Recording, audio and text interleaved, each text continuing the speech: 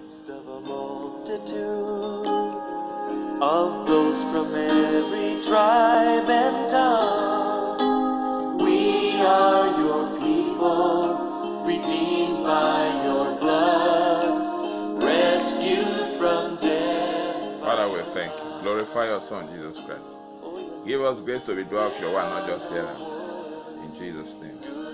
Beloved, I greet you all in the name of our Lord and Savior, Jesus Christ. Still under the umbrella of Premier School of the Prophet. In our daily highlight, which is dreams or visions with their interpretation,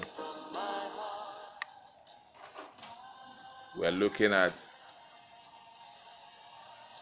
you see your teeth falling off twice. Your teeth fell off twice. What does it mean? You had a dream, you saw your teeth falling off twice. It means loss of strength. It means you are growing weak spiritually.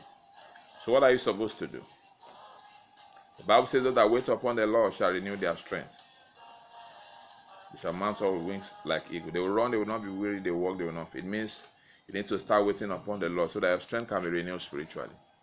You need to spend quality time in His presence, in prayers, in reading and studying of the Word, in meditation, so that your strength can be. I remember Elijah when he was weary, when he was tired and he went to sleep, was sorrowful, that lost hope. The angel of the Lord came and touched him and said, Arise and eat.